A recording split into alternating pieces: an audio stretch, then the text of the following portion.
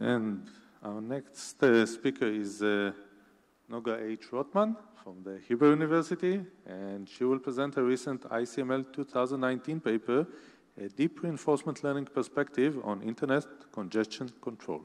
Please go ahead. Oh, thank you for that introduction. Um, so, hey everyone, and thank you for staying so late. And I'm sorry this is showing rather weird on screen. Hopefully, we won't have any problems.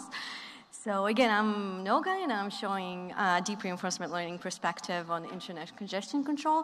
This is joint work with my co-author Nathan, as well as our um, collaborators Brighton, Michael, and Aviv.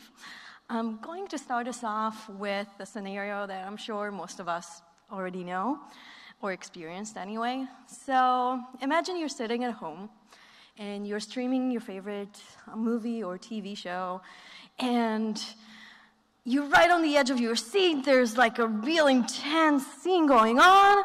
And then this. So video stops working. Um, this phenomenon and uh, several other ones, very annoying as well, are the results of one of the most fundamental and challenging problems in uh, computer networks, which is internet congestion control. It basically uh, determines what you get out of the internet. And specifically, it sets the rate in which data goes into the network. And just in case you didn't know, it runs all the time on every connection you run, and it does that without any prior knowledge. So to understand a little bit about this problem, I'm going to use the analogy of a water pipe. So let's, let's imagine we have this pipe, and on one side we have faucets for providers, say one for Facebook and another one for Netflix. On the other side, we're going to have buckets that correspond with those. So on the other side, and then we what we want to do is the providers want to send us the water, the data. So hopefully they're gonna just um, turn on the faucet, and the water is gonna stream right in. Um, Okay, that's good. Somebody on the side of the bucket is then going to yell, hey, listen, I got like half a bucket. The other person is going to have to react to that. So this is basically what's happening with the internet. Now the question then becomes, how fast are we going to stream the data or the water?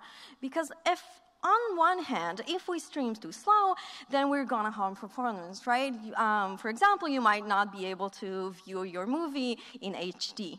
Uh, on the other hand, if we go too fast, we might overflow uh, the pipe because we don't really know anything, right? We don't know who, who um, the other suppliers are, if there are any, we don't know the capacity of the pipe, and so on.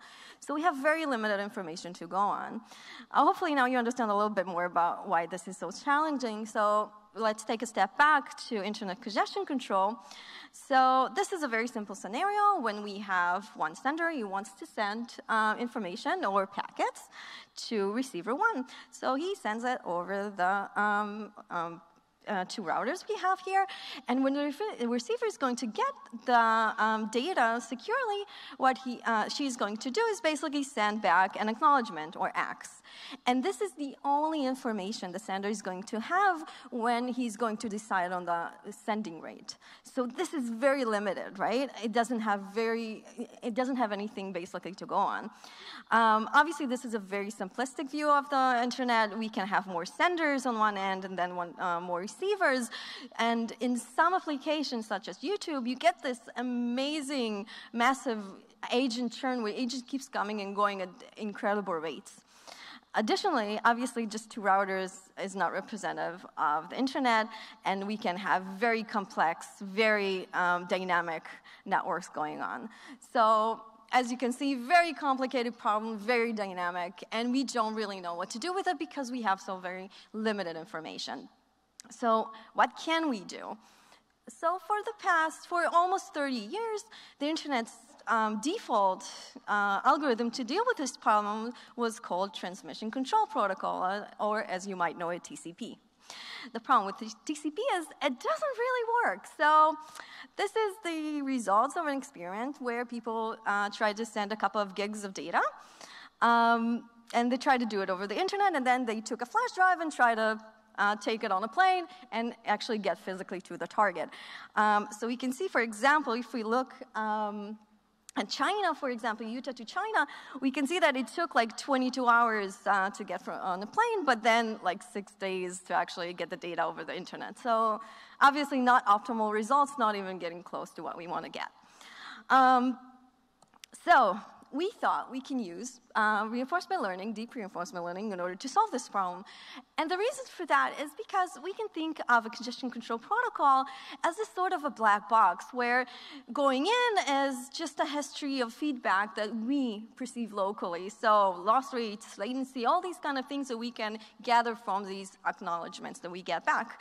On the other end of this black box, we're going to get the next sending rate. So our hypothesis was here that we can actually use the feedback to recognize patterns that um, perhaps TCP or heuristics or humans are unable to write down, but then, hold on, we do know a tool that knows how to um, recognize patterns, right? Deep reinforcement learning can do that, hopefully, right? I mean, it's been successful in other domains such as speech and games and all other um, a lot of other domains as well. So um, just to give you a bit of an intuition as to what patterns we expected this um, our agent to be able to kind of um, pick up on. So this is a simulation of a link that has 1% random loss. Now, this is something you would get from a physical link, you know, um, just the physical uh, elements are going to cause some sort of random loss. In blue, you can see TCP. Uh, what happened here is that TCP, every time it gets um, a loss, it thinks that he, it has um, congested the link, so he can't send any faster. So he backs off, the sending rate backs off, and then the throughput gets really, really low. On the other hand, an RL agent trained on random loss already knows to differentiate between those two patterns. So when it gets that 1% random loss, it knows, okay, wait a minute, I know that if I increase my sending rate, I'm going to get much better reward later on, which uh, is what you're seeing in orange. So this was our intuition. Uh, we can now get to what RL is. So for those of you who don't know, the goal of reinforcement learning is to maximize um, reward. In this scenario, we have an agent that interacts with an environment. And the agent observes a state. It's going to output an action that's going to take place in the environment. As a result, the environment is going to output a reward corresponding with the action. And then at the next uh, timestamp, uh, the agent is going to observe a new state of the environment. So in our formulation, we used a neural network as our agent and uh, an in-house simulator for the environment. We, again, used these um, localized feedback that we're getting, a list of statistics, and outputting a number that we are going to use to set the new rate. And then we're going to use a reward function, which is something that is known in the congestion control world and I used um, to determine what the reward is. So um, we use this platform, which uh, this is the first time, obviously, that uh, congestion control, uh, internet congestion control was formulated as reinforcement learning to create Aurora, which is an actual solution. So uh, going in, the state, uh, we are going to um, take our time, uh, divide it into intervals, which we call monitor intervals. We're going to collect data at each one. We're going to use several of these, history, to feed into our neural network.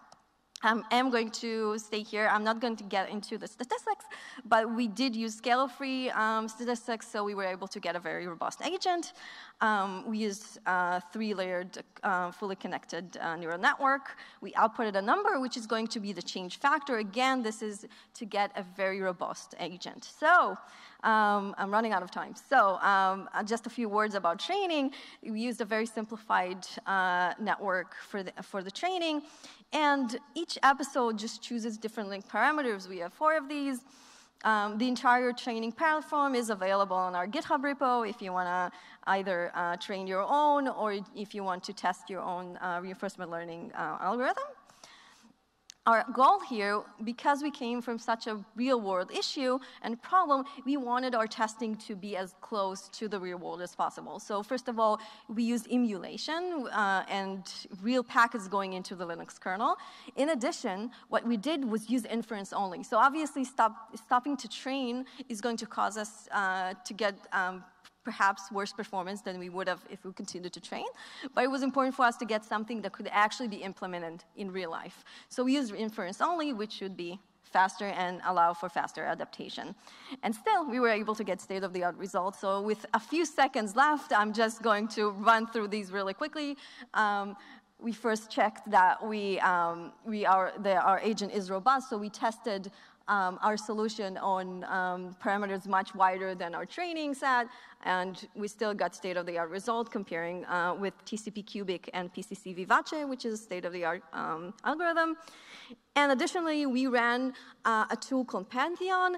It is, some, is, is, a tool that is known in the networking community. What you do is you just give it your algorithm and it runs it against state-of-the-art uh, algorithm and outputs the results. So what we want here is, um, we, this is a very dynamic link. So um, we want to be on the top left, which is high throughput, low latency. And as you can see, Aurora is right up there on the Pareto front of state-of-the-art algorithms. So um, we have a lot of exciting new directions to go with, and uh, I'll leave you with that. You can go to our GitHub repo for the data, and thank you for listening.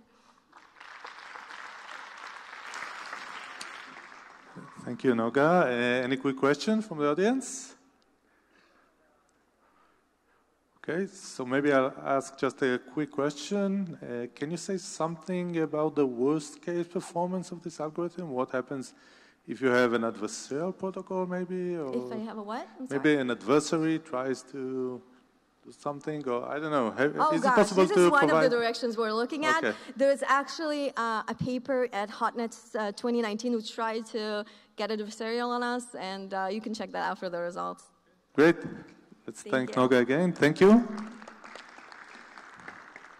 And uh, I would like to invite now uh, Firas Shama from the Technion.